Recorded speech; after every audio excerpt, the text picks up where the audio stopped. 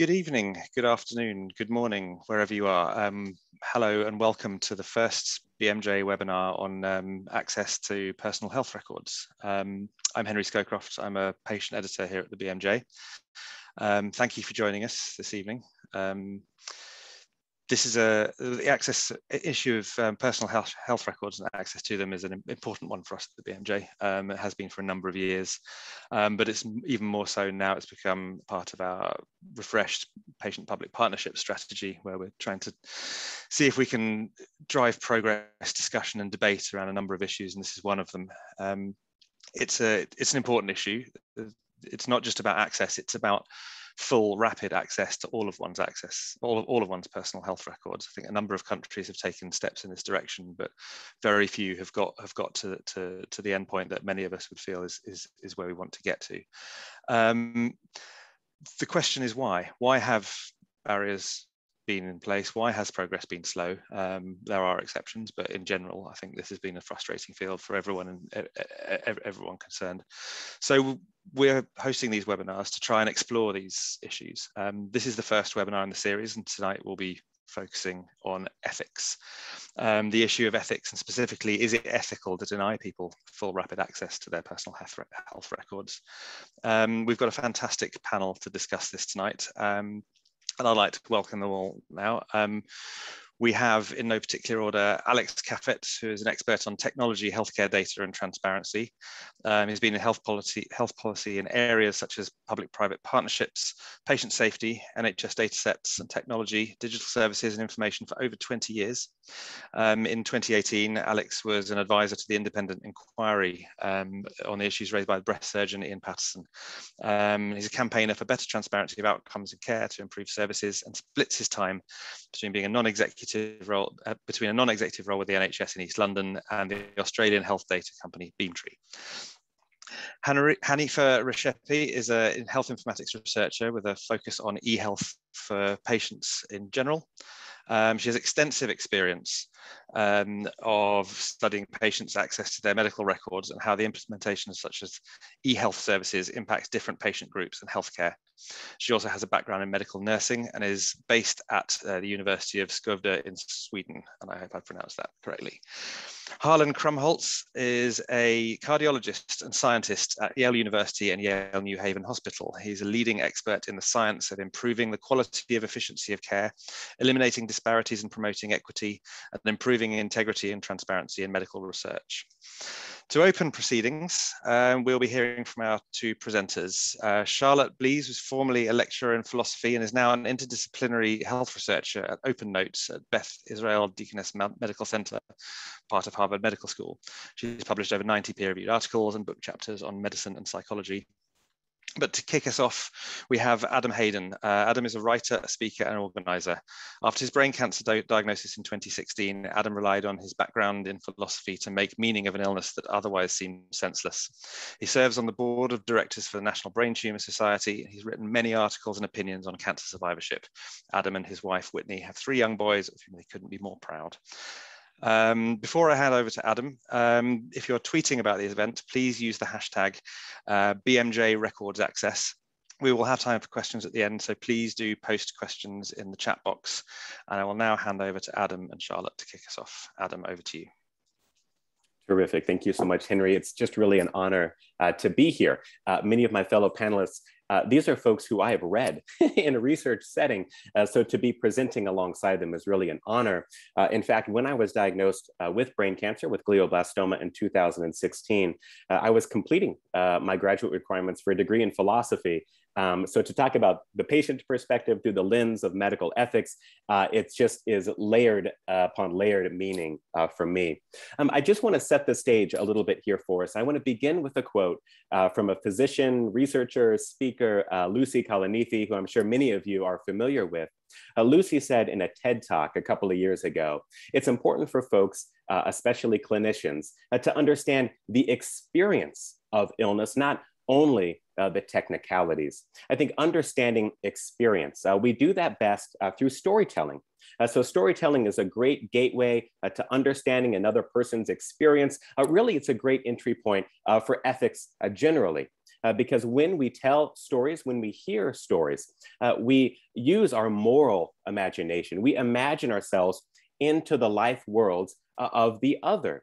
Uh, so I'm going to tell you just a little bit about my story, uh, but I hope that as you hear uh, clinicians, caregivers, uh, patient stories during this webinar series uh, that we see uh, how we can really deepen our understanding of the other through this empathetic witnessing that comes to us through storytelling.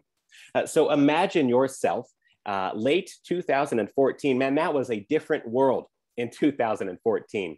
Uh, the day after Christmas, December 26th, a weird thing happened to me. In fact, I experienced a seizure, a partial seizure. Uh, it was uh, rather mild, a lot of loss of, of sensation and motor control in the left side of my body, uh, some dizziness, some strange tingling at the base of my skull. Uh, this episode uh, lasted, oh, about six minutes or so. Uh, I was 32 years old otherwise healthy. I was a grad student at the time, a bartending in the evenings uh, to help pay the bills. Uh, my wife uh, working outside of the home, a growing family. So it was easy uh, in 2014 to say, boy, you got a lot going on. Uh, maybe this was just stress related. So we didn't diagnose it as a seizure at the time.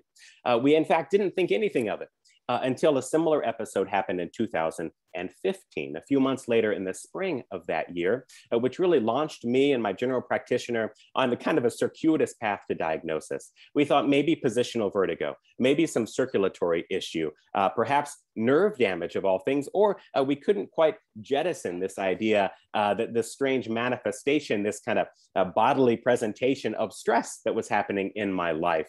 Uh, so from 2015 into the beginning of 2016, these episodes continued. In fact, they continued uh, to increase uh, with intensity, uh, with duration, uh, with frequency. Uh, so by the spring of 2016, almost a year and a half after that first presentation, these episodes had become so debilitating that my general practitioner said, we better get you to an MRI. That MRI revealed a 71 millimeter primary brain tumor in my right parietal lobe. Now, what does all that mean? Well, 71 millimeters, it's about seven centimeters. Uh, that's a large mass to have. You don't have a whole lot of room up there uh, between the brain and the skull. Uh, it was in the parietal lobe. This con uh, controls kind of sensory input and motor movement for the opposite side of your body. Uh, so all of these symptoms that I was experiencing uh, suddenly uh, were kind of snapped into high definition uh, with this MRI scan.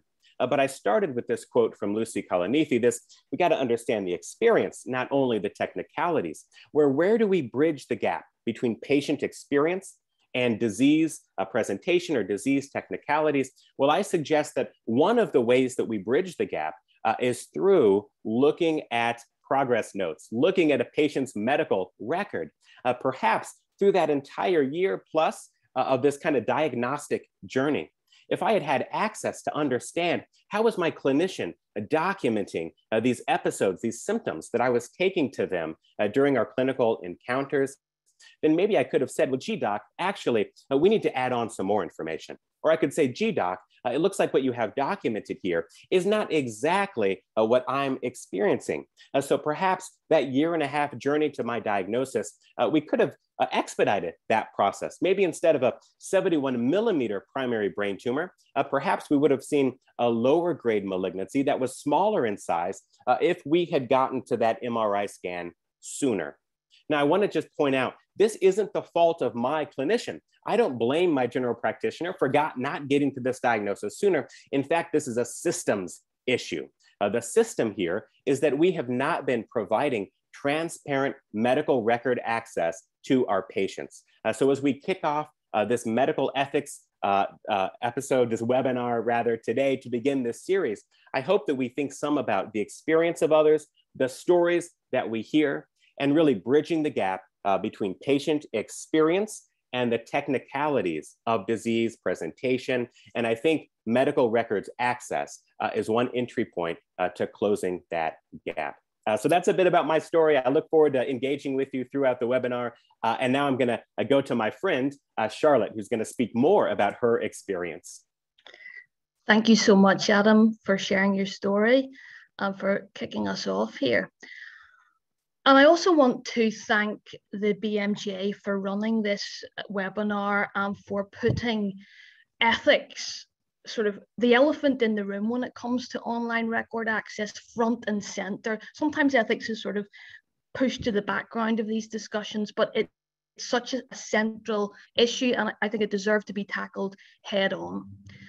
So is online access the right thing to do? Let's see if I can get my slides to work. Seem to be moving forward. Um, gosh, I'll, I'll, perhaps just begin the discussion by simply saying that um, online record access, I wanted to present three basic ideas here. Um, but to kick us off by saying that when we talk about sharing open notes, we often refer to a sort of a, a term of art, uh, which means sharing just the visit note summaries. Uh, but other researchers and other clinicians use a very different um, nomenclature, which would be patient access to electronic health records or online record access. Um, so with that in mind, um, I wanted to start by saying that the first consideration uh, is to put things into a kind of historical um, context here. And that is to say that through most of medical history, um, the guiding ethical principle has been paternalism in healthcare. Uh, that is to say that the doctor knows best and that the doctor can. Nowadays, we eschew medical paternalism in healthcare and uh, patient, it's a, it's a clinician's duty to be open, honest, to provide adequate disclosures to patients in respect of their health information.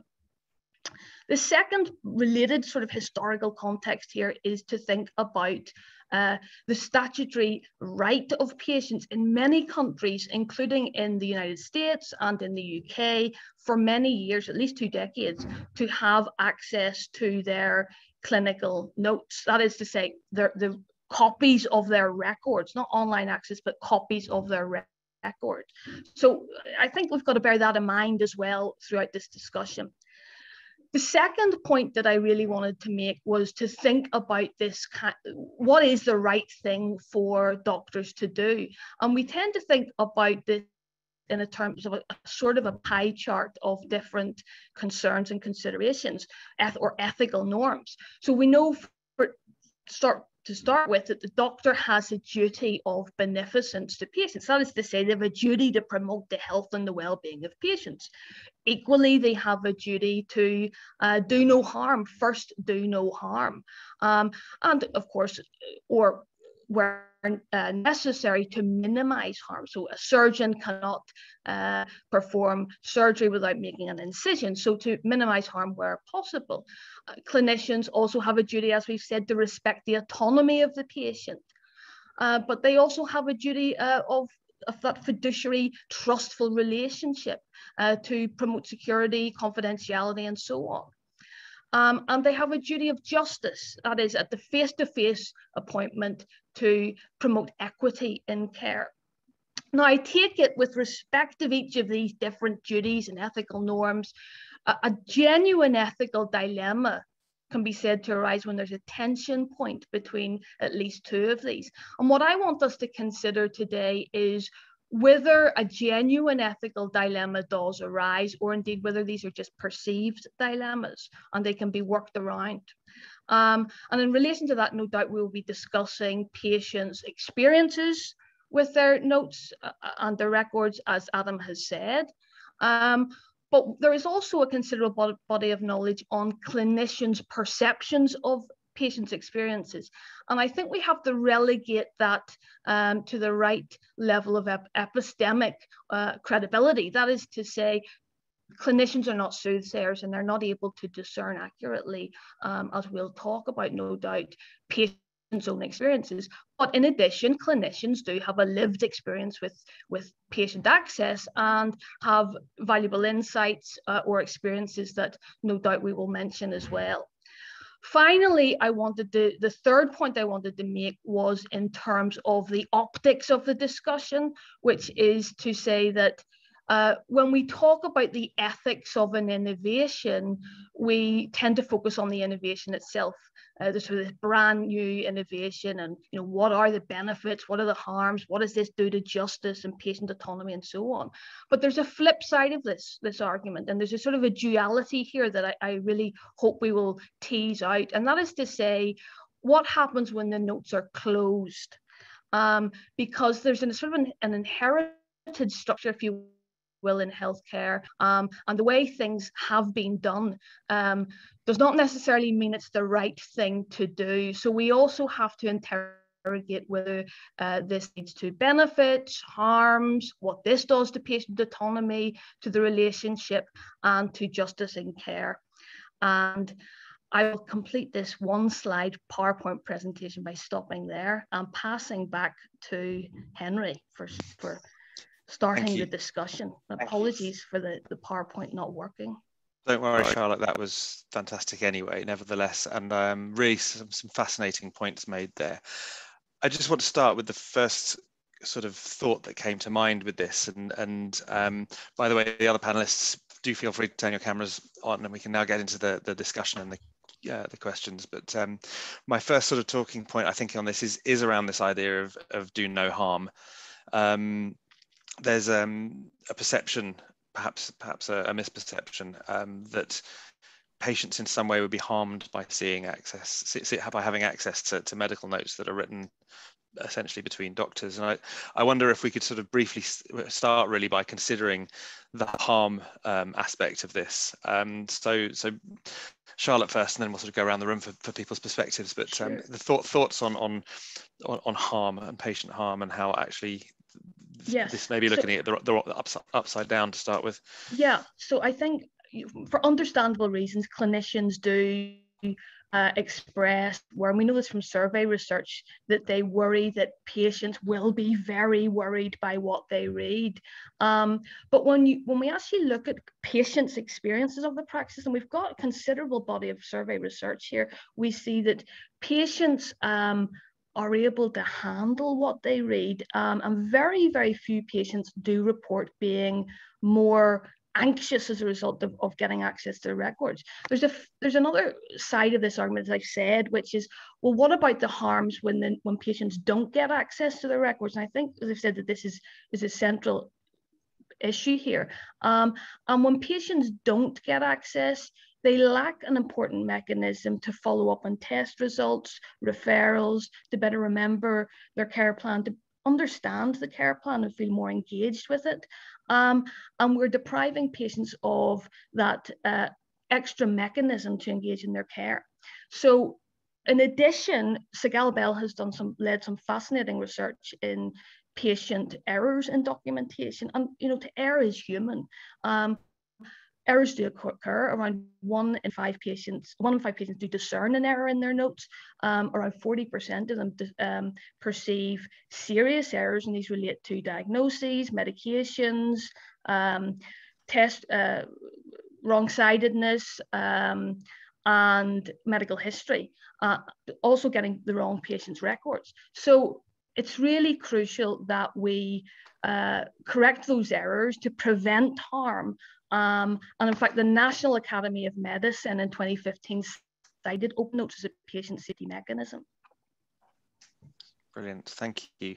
Um, Hanife, you, you were um, look, look, like Thank you, Charlotte. In, it's, so it's very interesting. I mean, just like Charlotte said, there is extensive research within this area, and I would just like to add that. I mean, when we often discuss harm, on patient uh, i mean it's it's many times is about a fear that um, reading notes or accessing test results will increase anxiety or or that the patient will not understand the content and get anxious uh, due to that but I mean, um, so also in Sweden, um, we've um, patients have been able to access their notes and test results in 2013, and we have done extensive research within this area.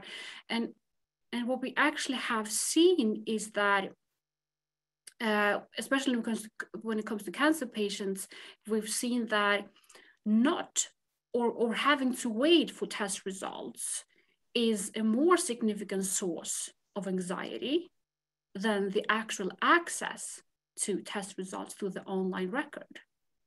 So by actually pro, um, hindering the patients to access the notes or test results, we can actually argue that we may be doing them more harm because for many patients, um, being forced to wait for the doctor to contact them with test results uh, is a more significant source of anxiety. Thank you. Um, that's a really important point, and I think we, we, uh, to to to build on that. I think Alex, it would be good to hear from you about some of the the the, really quite extraordinary harms that that that you've um, been been part of discussing as part of your work, particularly with the with the the Paterson inquiry, etc. And do you want to come in on that? Yeah, thanks, Harry. And uh, I mean, agree with what everyone said. And I think there's two quick points, which is you know, first of all, these are not kind of contemporaneous notes you're seeing as as you're in front of the doctor. These these are your health records, which which are as they say, a matter of record which which which goes with you. And and I think the first point is, especially when you've had a, a, a, a, you know a frightening diagnosis, and Adam will speak more eloquent than me. You stop hearing, and actually, you know, once you hear a horrible a horrible word, and we all know what those words might be. So ha- having access to your notes is is one way of going to be able to digest that and talk about that with with with peers, with family, with with help with charities, and and so on and so forth. As perhaps a discussion for another day, which why I would advocate also having you know videos of, of consultations. But but what you were talking about, Henry, was I worked on this inquiry into Ian Paterson, who is who's a breast surgeon uh, in the West Midlands, who was sent to prison for harming over a thousand women, and and people can read this in the inquiry. One of the many things he did, and we have no, we will never know why, is he he told people who didn't have cancer they did, and steered them through into, into a treatment pathway where that cancer was treated. This is both in the National Health Service in the UK and in the private sector, and it was a matter of record from the pathology that that that they didn't. So perhaps one of the ways he would have been uh, spotted quicker, and we put this in in the inquiry, was if people had access to their notes, they could have gone and queried this. You know, they those that could understand it and that had the had the means to kind of look it up could have said, "Well, hang on, I've I've checked the pathology, and that's not what that's not what she's saying." So that's just one very small use case in in in how perhaps it would have kind of stopped harm on a on a you know industrial scale, as it were. Yeah, thank you. Um, Harlan, Adam, anything you, you would either of you would like to add on this? Harlan first. Oh, we've lost your audio, Harlan. Sorry, thank you. There we go. Uh, um, uh, look, this is a session about the ethics of, of access. And I think we need to really focus intently on you know this principle of autonomy the, the right of competent adults to make informed decisions about their own medical care. And if we're going to respect the autonomy of individuals, then we, we, have to say that making decisions about what information you can have access to and when is, is counter to the expectation that we want people to make informed choices about what's going to happen to them. And, you, you know, I mean, this gets back to when we always say nothing about me without me. It, it's, this information is critical. And, and for the healthcare system, I mean, it's just an anachronism for us to consider this to be a priesthood on high where we can make decisions about what information is going to flow to you because of our expectation about how you receive it. We, we who are advocating for online access, and we can even take the online out, just to say full and complete access to medical records about me, are, are not suggesting that this information gets shoved down people's throats. People still have the ability to say, I actually don't want to read that. I actually don't want to partake of that. This is about saying that people should have the opportunity, have the opportunity, uh, unfettered, to have full inform, uh, full access to the information about them sits in chart. And we all know, we in the medical profession know, and patients know that that there's often conflicting information in the chart. There's inaccurate information in the chart. The medical establishment writ large, including we doctors, have not accurately uh, collected and transcribed and documented the information that we've heard, or we haven't sought critical information that may countervene other information. And the harm around that miscommunication, the, the misinformation, I'll say it like that, within the, the records it's been enormous. And, but but I don't even feel like I have to default to like, well, there's a net benefit or not a net benefit. It is simply the right thing to do to put patients in a position where they can decide, do I want to see my records and in what time frame? For you to say, I'm sorry, I can't give you that result for 48, 72 hours because your doctor needs to have it see it first and then and then be able, you know, by the way, I can wait 72 hours if I want. I mean, it's essentially saying I can't have the option to see it right away if I want to see it right away. Mm-hmm. And to me, that's a violation of, of you know, you're basically saying I don't even have that chance to do that. And, and by the way, there's more to this. There's images and other things where I may want us to have go to another doctor and have them take a look at this information or or re, reevaluate it. And, and as long as all of that is difficult, then what we've done is sequester knowledge within a small thing. We've limited choices by patients, and we've made it difficult for them to make informed decisions about their care. Sorry, I didn't mean to go on so long, but it's like th- these are the things I think that are, are so critical for us to, to, to move on. I, I, I, I couldn't agree more, and I think there's some fascinating points. Um, Adam, would you want to come in just on some reflections on what's been said so far from, from your perspective? Oh, that's a generous invitation. I think Harlan spoke to uh, such that ethics of access, I think, is an important point. I mean, I think we increasingly are in the world where information is currency. And as we begin to think about, you know, the precision medicine of the future, next uh, generation sequencing uh, for genomic panels, et cetera, you know, that right now patients, uh, we are impoverished if if information is currency. And so I think uh, the, the wrong answer is, well, let's continue to withhold it. you know, the right answer is, let's spread the wealth. Uh, let's increase the access. Uh, let's increase uh, access to that information that is currency. So my, yeah. my final point for, on that. Fantastic. And I think um, that sort of bridges us to the to the to the next sort of uh, thing that we sort of batted back and forth before the session about sort of potential perceived objections um, to, to, ethical objections to this, which is the idea of loss of trust and about this might damage the doctor-patient relationship. Um, should we start, Harlan, with you as, as, a, as a clinician, the issues of trust and, and relationships, how do we how do we respond to those sorts of objections? Well, I think we we need to then reestablish what trust is about, which is is about honesty and and transparency and clarity. Look, if I'm well, I, I think what what undermines trust is if I have the presumption that I need to make choices for you, both those choices about what you can have access to as well as what your care options might be. I walk in the room and say, You need surgery on Wednesday without any transparency about what your records are, what the information is.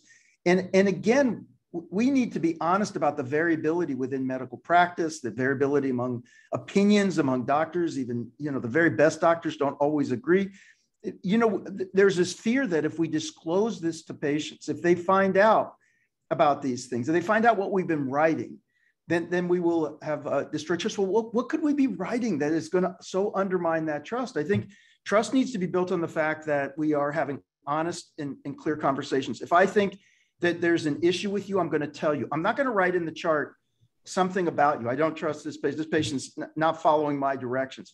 That's that's an old school and I, I hope uh, an antiquated way of thinking about the relationship between doctors and patients. The, the new way should be about uh, let's talk.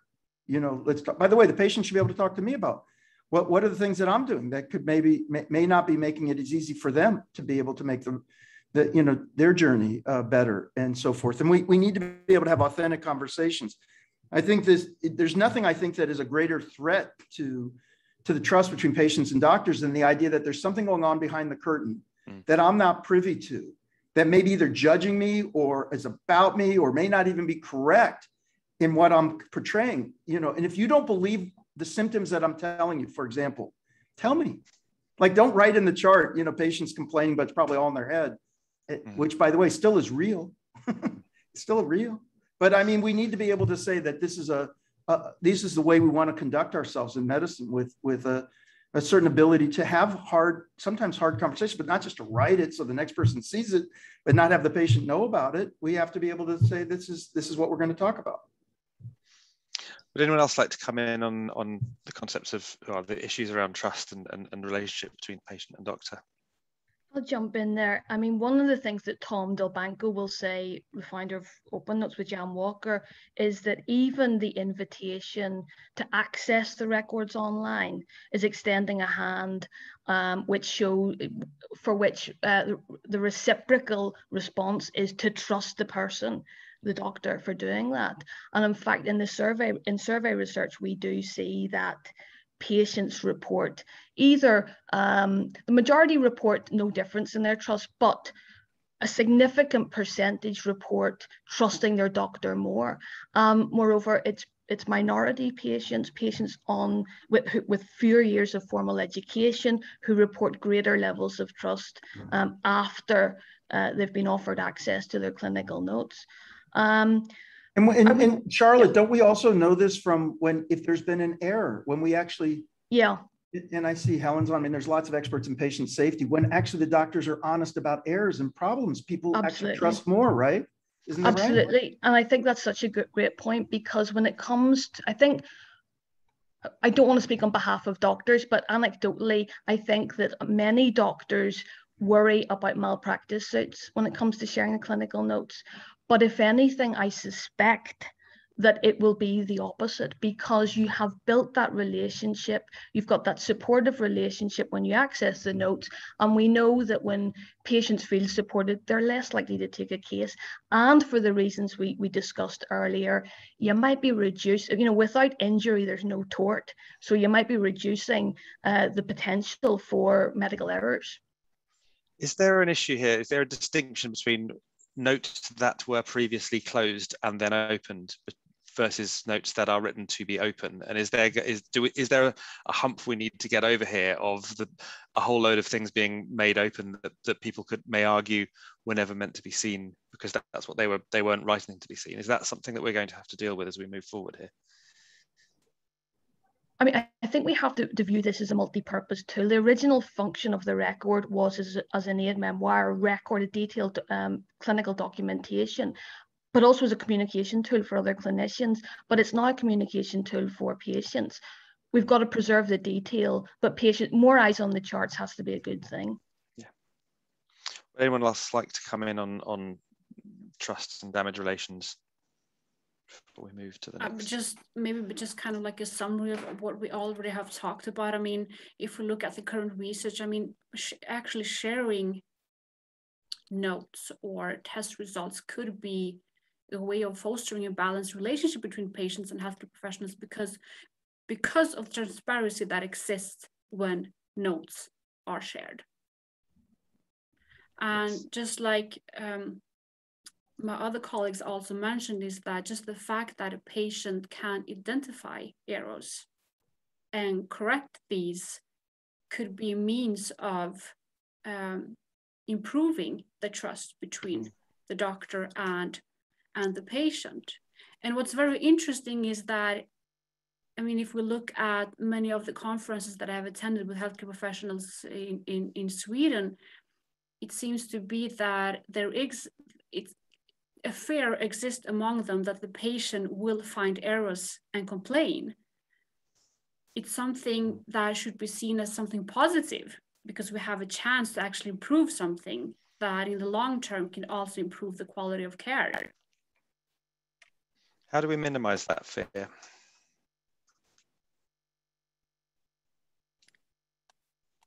Anyone got any thoughts on how we can put those help allay those concerns among those that think them? I mean, these are just my experiences when talking with physicians. I believe that an attitude that I have encountered many times in the meetings with with uh, physicians is that they believe that the the reason why the patients are using the medical record is because they want to identify errors.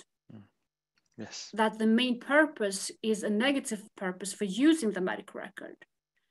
But that's really not the fact. I mean, that's I mean that's not the main reason for why the patients are using the medical record. But, but let me just let's be honest. I mean, that wouldn't be a bad use of, of your no, records. I mean, not. there no. are so many errors that I think the point is how we engage constructively about it. But I think we've all seen so many cases where, again, there's conflicting information or there's something frankly wrong in the chart, or, or, or someone was just pasting something that got propagated within the chart and wasn't right. And we, and we all know about tragedies where things have been overlooked for too long or, or that things haven't been triggered adequately. There's lots of areas for for quality. Again, the, I think this notion of more eyeballs on the chart that people can do that. What, what, what I've also found as a main impediment is just concern about time.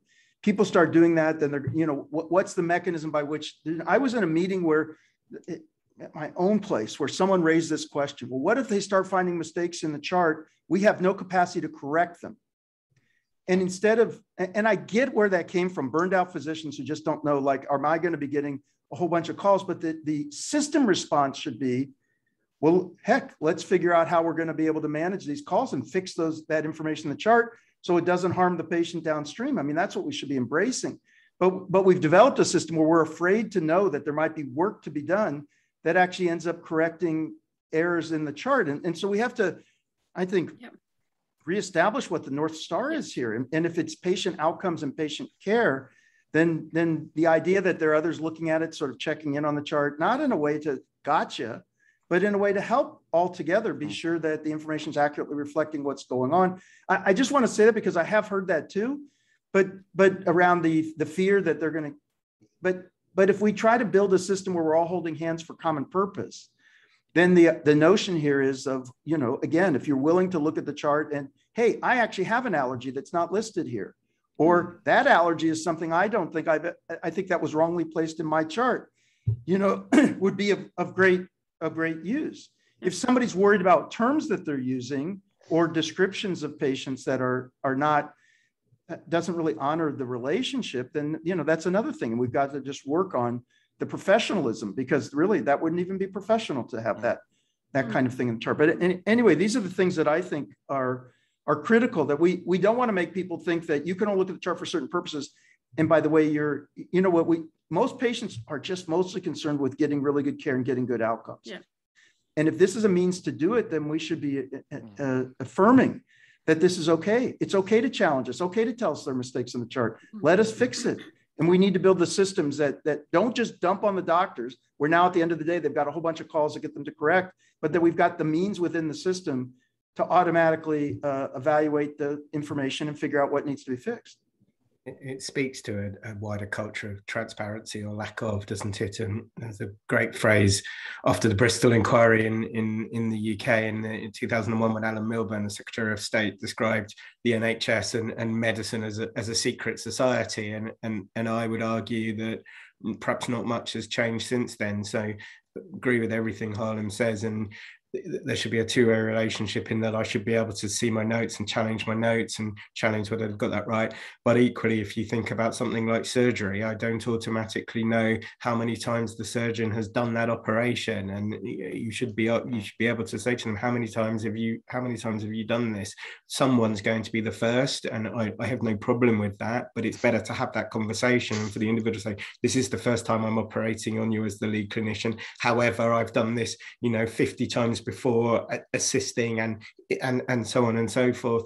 And and ditto with treatment options. It, it, it's generally wrong if you're having talking to a health professional and they give you one treatment option. It's perfectly acceptable to say are there any other treatments available available for that. And this is where you get into you know doctors particularly wanting to over medicalize where someone might might be content to, to go onto a palliative care pathway because that's best for them. And and uh, i think you know having access to your notes is the first step in having a, a grown-up peer-to-peer conversation between the, the, the patient and the and the clinician rather than being told this is how you're going to be navigated through system. Is it such a threat because we're really let's call it out we're tipping the balance of power i mean information is power and this is trying to create a more equitable distribution of power. By the way, if it's my body, I should actually hold yeah. most of the power uh, in this relationship because I'm bear the consequences of what's going to occur. And, and to me, this is,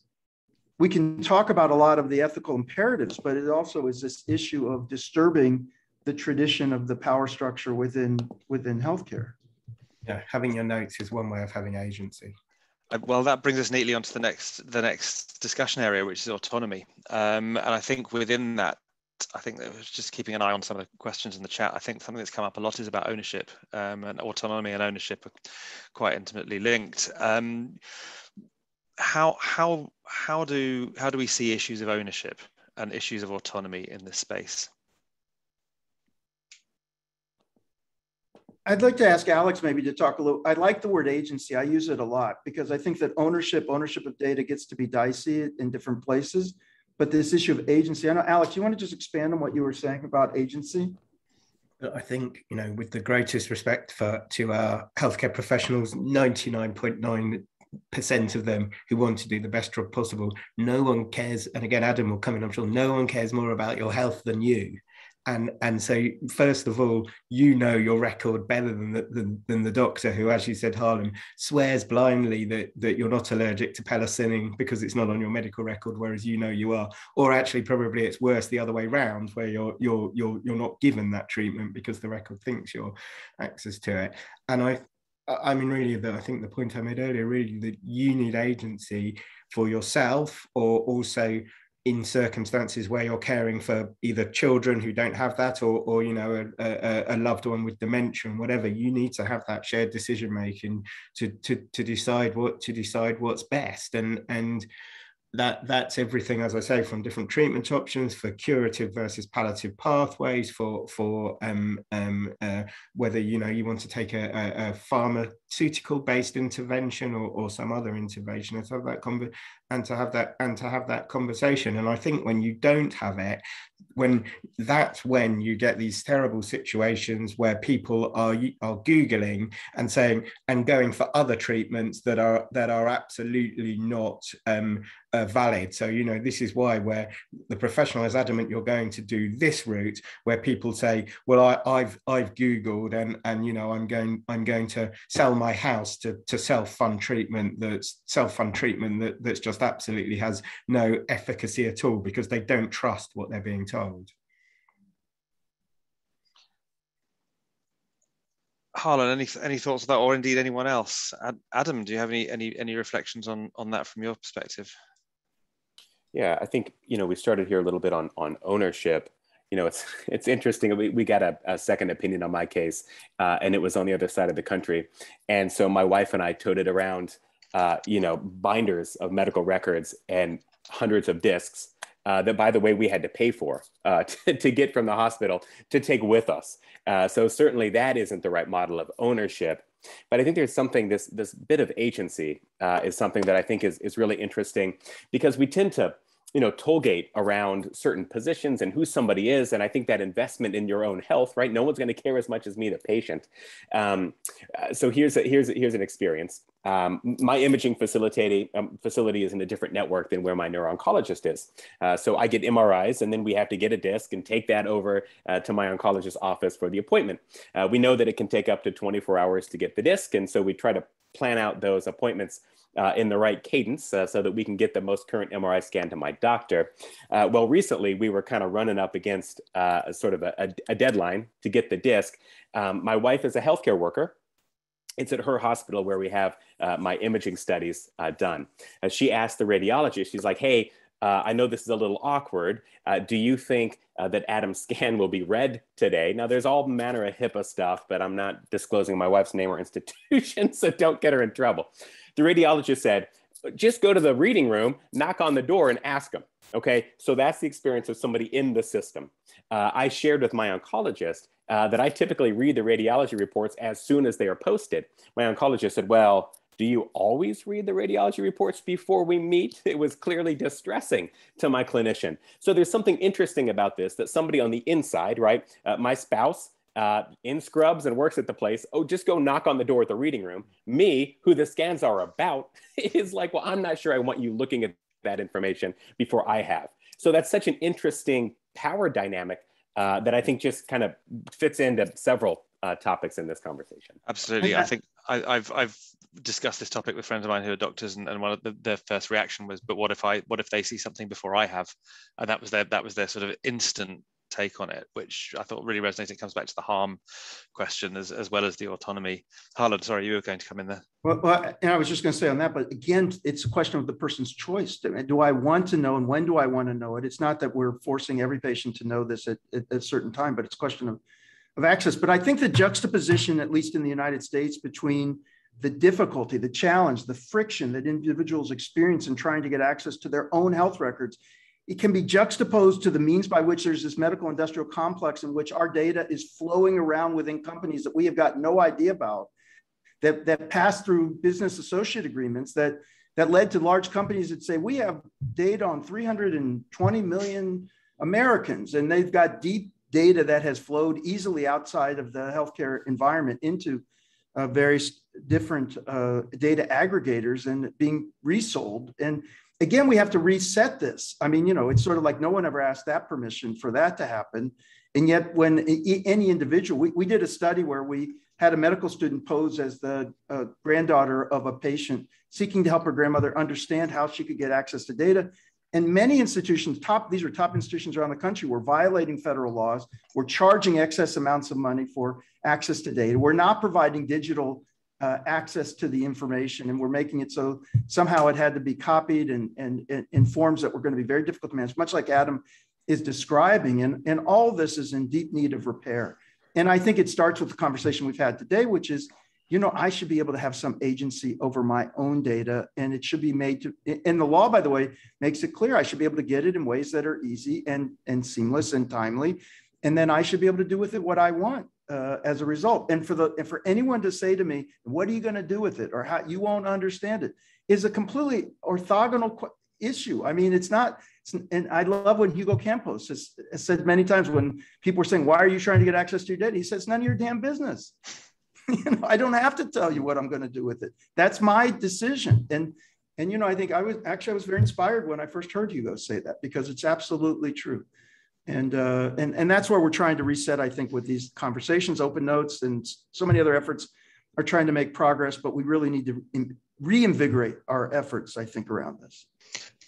I think one issue that's come up a few a few times, and, and we sort of sort of skip past it, and I think I think it's, a, it's an interesting one because it, it's come coming up a few times. Ownership. Um, Harlan, you made a comment earlier that you think this is a this is a tricky area and possibly a, a, a, a not necessarily a red herring, but um, what what do we think about ownership in this context? I must also, before we go on, Charlotte's dropped off her, her internet has crashed. She's trying to join us again, so we'll hopefully back be back shortly. And, and, and I'll, I'll, just say quickly, just to clarify my point about that, it just becomes a rabbit hole, and, and, and there are legal implications to this, which which we can fight about. I, I I'm willing to have that that discussion, but I think at the very least, a lot of what we're saying is what could be done tomorrow. Like tomorrow, mm. everyone should have access to their own data in a time immediate, timely way in digital mean by digital means. It makes it very easy for them to use transact share, do what they want to do with it. The issue of ownership is more complicated in many societies it, just because of the way the laws are. It would take us years to restructure some of those laws if we wanted to go after that. But that's why I said that not that it's not worth having the discussion, but it's it at least in many societies, just because of the legal structures, there it's complicated to say who actually owns that data. I think I think the reason I wanted to, to to raise it is because I think it brings us into the to the final topic, and I'm conscious of time. I want to get to some questions, but that was was the idea that this is this fundamentally is about data. There's an issue on data security here, and my my the the thing I thought about ownership was that whoever is the owner of it is also the person for responsible for maintaining the security. And when we're thinking about the ethics of a topic like this, the argument often put forward is that you know the, the, making this stuff available is going to lead to becoming insecure and that's harm and that's which is a hard argument to make when data is flowing all around everywhere and being resold all the time but I, I, I and i've i've said this to many people at times which is if you're concerned that if you give me my data that i might lose it or leave it at, at the coffee shop or share it to someone i shouldn't have shared it with then maybe you should also take a, take charge of my bank account because i could also be making foolish decisions around my money you know mm-hmm. and and maybe you should be taking charge of a lot of other things in my life too because you know I, am capable of actually you know buying something that's a lemon or or you know and there there are things going on all the time. I mean, we, we need to be able to treat people as adults fully fledged adults who can make decisions about their life. And we, we need to help. We can help by by helping people to know what best practices are and also be very careful about outlawing scoundrels who are trying to take advantage of people i mean we need to, to go after that too but but I think the idea that we have to protect you from yourself because we can't possibly give you your health data because you might share it to, uh, you know, and someone who might be uh, using it for bad purposes, I just think is it is just out of bounds, honestly. Wondering what others think. I think you've nailed it, Harlan. I mean, yes, there will be some people that take a photo of their medical notes and stick it on Instagram in between a photo of their lunch and you know a photo of a hot guy they've seen in a bar or whatever it is. But and but you know it is your notes that that is your right to your right to, to do it. I don't think it will, and it shouldn't compromise the security if you can take it, you know, from an API of of the system that stores it. And obviously that needs to have the highest integrity and as you've articulated Harlan that that that data you know another question for another day about whether that should be shared with you know life science companies and, and insurance companies and and and so on and and so on and so forth. But i don't think it it will compromise and it doesn't the security of the system that holds it. But as you say of course if you're given that data you can do what you want with it but that is your that is your right. It is, it is your data. And and but there are some great systems out there that have um, uh, you know uh, uh, layers of access so you, you might want to adam might want to have his data electronically and show it to his wife, but he might want to make sure that his, his kids can't see it or whatever else. And that's, you know, just a delegated access kind of kind of technical thing. But if you're being given that CD, Adam, you can do whatever you want with it and you can, you know, try and flog it with your music CDs if, if that's what you want to do. But Harlan articulated it better than me. It's, it, it's mine. I can do what I want with it. Well, and I think, you know, we're not beholden to other decision makers. And then it comes down to patients and we've got to figure out how to do it. I mean i think the the the next generation of patient advocacy i think really happens around health information technology. So as cms and onc over here in the states and i can't speak to within nhs who's doing some of the decision making uh, but around information blocking and interoperability uh, patients shouldn't have to figure that out after the fact. Uh, as new policies are introduced patients should be there to say hey if you're looking at information blocking here's what's going to matter most to us patients. So by the time we get to the ground, uh, we don't have to navigate these thorny issues. We've already taken them into account uh, in the beginning of the rulemaking.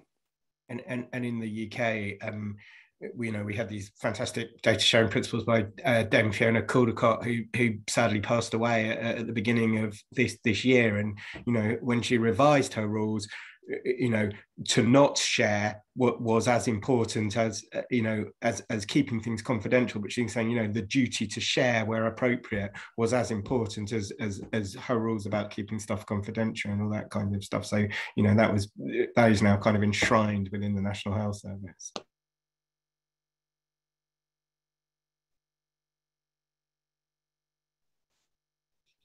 Henry we have charlotte back. I don't know if she wants to chime in on any I, of this? I'm I'm afraid I've got Question? I've got a slightly dodgy connection temporarily.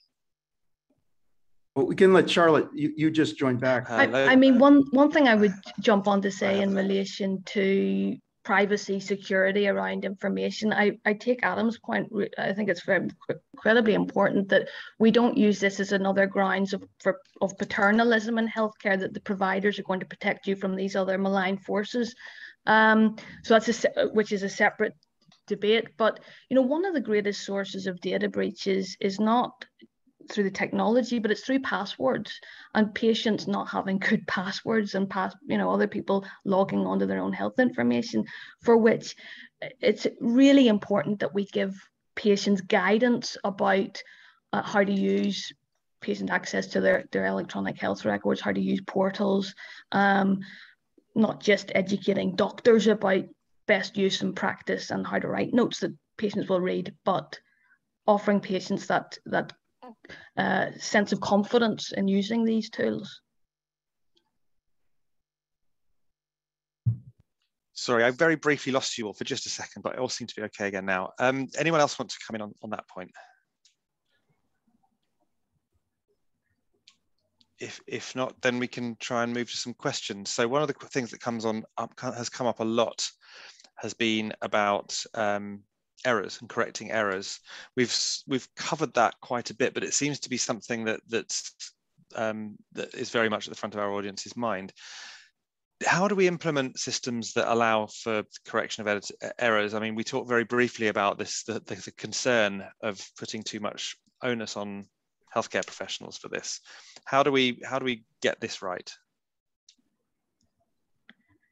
Well, I don't I don't have the exact the perfect answer to that, but I can just tell you what we are in Sweden currently are working on that actually is not working, but it's a good idea and it's it's one step forward to actually solve that issue.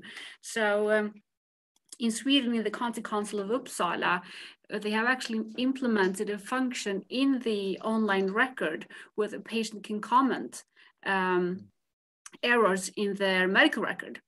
And so they can actually choose to um, hide these comments so that the physician cannot see, but the patient can see it, or they can um, decide that the physician or the nurse or whatever uh, can access these these notes or these comments but the main issue here is you know how will the process from that a comment is being sent to the physician is going to look like who is the one that should be responsible for handling these comments and what if the patient is not right?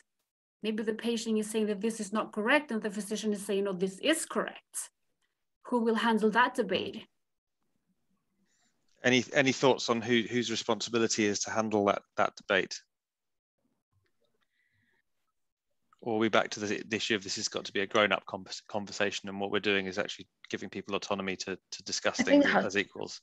It has to be a grown-up conversation. And I think this sort of there's a false dichotomy between what's empowering for the patient can't be empowering for the clinician. So when we empower when we empower patients, I mean, it's that old slogan that phrase Warner Slack used that the, the patients are the most underutilized resource in healthcare. So if we are listening to what the patient says, as Adam start, kick-started the, the whole discussion with, if we're really listening to the patient, we can handle the, doctors should be able to handle these mistakes, but they've got to be able to read that feedback as well. That's crucial. It's not going to be enough to open the notes. And incidentally, if a patient alerts a doctor to an error in the note and the, uh, and nobody is reading it, that might be a really interesting source of litigation.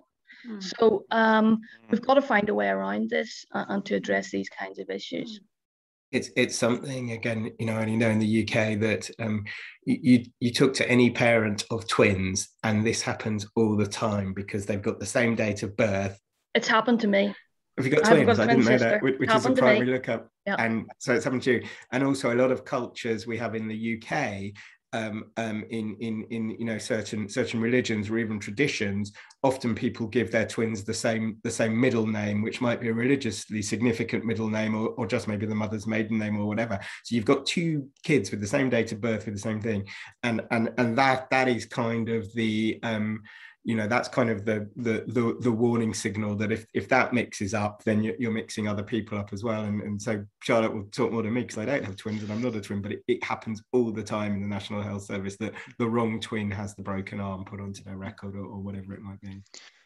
We've had a very good question about the amount of about the, the degree to which different types of records should be made available. For example, sort of GP records being available, but but secondary care scan scans not being.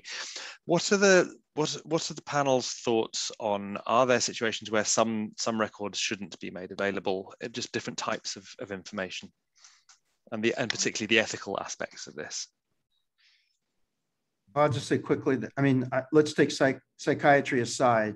Uh, just because issues of consent and confidentiality, uh, it's a deeper and more complex issue. But besides that, everybody should have access to all of their records. And there's just no, I don't think there's a ethical argument for not making them available. And particularly if people want to have choices about having others take a look, I, I think it's critically important that uh, we, we make them, you know, so that people can can have their data and, and do with it what they want. I, I don't know what, what, how you could argue otherwise. I don't know. Someone got into counter argument to that? No, I, I just want to jump in with a couple of points. I would be remiss not to, to, mention Liz Salmi in this call. I don't know if people have already mentioned, but she's done a lovely study of uh, oncology notes and on patients, oncology patients reading their notes. Only around four percent viewed the notes as, as more confusing, as confusing. Okay, very confusing oncologists anticipated that uh, over a third of oncologists anticipated that um, patients would find the notes confusing. So that, that disparity is really fascinating. In terms of, so it's, it's hard not to, to view patients as being negatively stereotyped there as well. Um, when it comes to serious mental illness, we have actually done an analysis of survey data and looked at patients with diagnosed with schizophrenic disorders, major depressive disorders, um, bipolar disorders.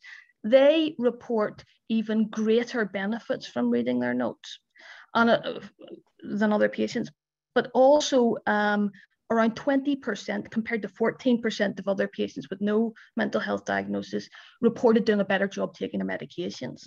So having said that, there will be test cases, you know, the anorexic patient who might not might not benefit that patient to see their weight but that should be something that's discussed. You know it, are they going to be more stigmatized from information blocking or are they uh, is it going to be better and have a discussion about will not show your weight because that might lead to certain harms.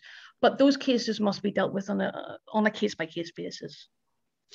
I'm going to have to draw a end to the discussion here. We're out of time. Um, we could go on for at least another half hour. I think we could probably go on for another 24 hours if we let everyone.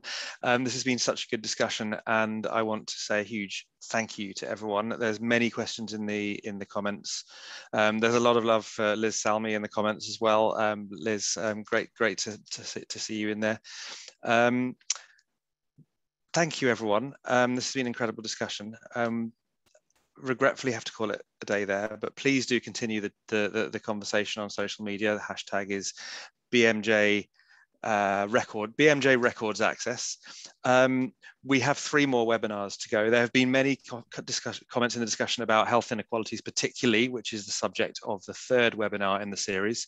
The second webinar which will be um, hosted by my colleague Emma this time next week, will be on something we've touched on a bit here, the cultural and professional barriers to all of this. So please do join us for that. Um, the link to sign up is on the BMJ Twitter account. Um, and if you can find it on there, I think that will have to do for this week. This has been great. Thank you again to all Thank our you. panelists. Thank This Thank has been a fantastic discussion, a great way to set off the series, and um, see you all at the next one. Bye. Thank you very much. Thank much. you. Bye. Bye bye.